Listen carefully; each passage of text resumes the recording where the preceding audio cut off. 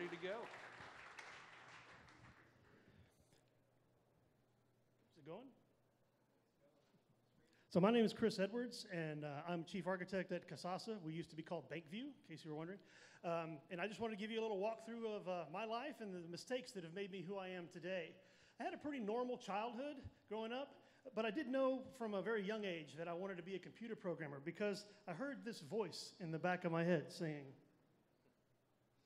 Shall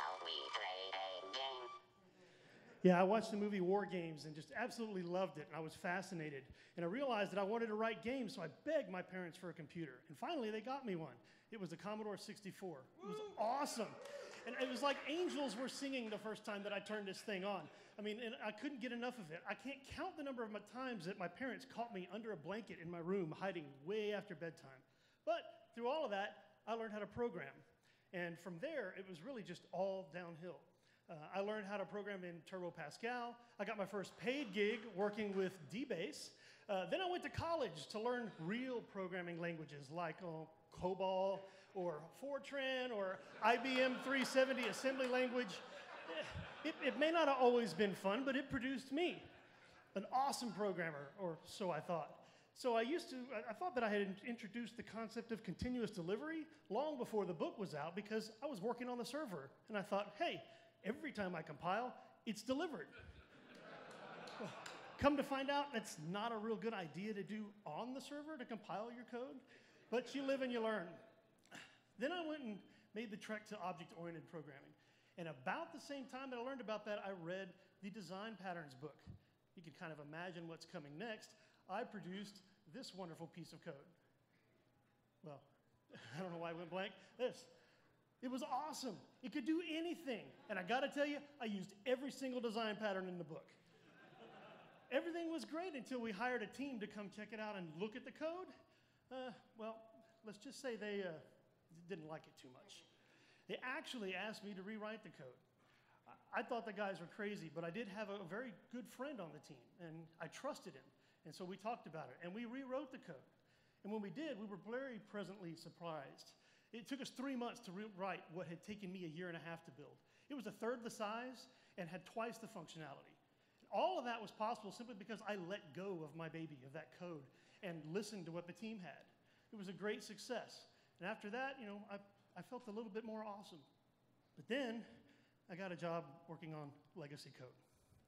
And I've just got to tell you, if you don't know this, it's true. Legacy code sucks donkey balls. It is horrible. I couldn't make anything work that I'd worked on before. All the successes I'd had in this team, every time I tried to do it again, it was a train wreck.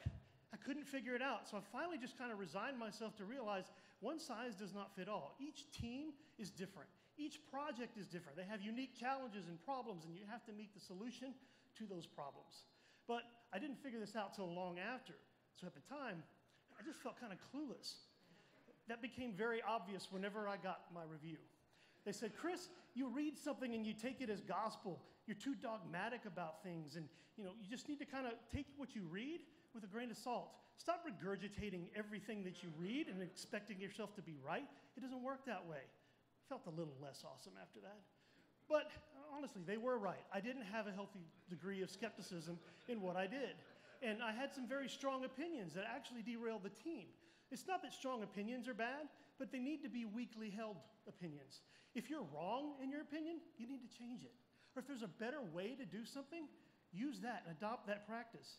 If otherwise, you're not just strong opinion, you're just stubborn. So I wanted to get me another job, and, uh, but I wasn't done making mistakes, of course. There was a time that I deleted the database in production. I thought I was on the dev server. Uh, apparently, those compliance guys know what they're talking about when they say they don't want devs in production. Or there's the time I used an object relational mapper to do bulk imports of data. That didn't work too well either. Um, apparently, there's a reason that they have bulk operations in SQL. Probably ought to use them. And many more times, I designed the equivalent of a space shuttle just across the street. Classic overdesign problems. So, what did I learn from all of these things? Well, I learned I'm not this guy. I don't know it all. And every time I think I do know it all, come to find out, I stop learning because I'm not paying attention to what other people have said. I think I already know it. It's what, one thing that makes that obvious is every time I looked at my old code, it was like, holy crap, did I write that? But my code was constantly getting better every year, and I'm learning more every year. But I'm still going to fall down. But when I do fall down, I'm going to get back up, and I'm going to smile, and I'm going to keep going. So if you see me making mistakes, come alongside me, pat me on the back, and join me. The road to awesome is paved with mistakes. But as long as we learn from those mistakes, we're going to get there. Thank you.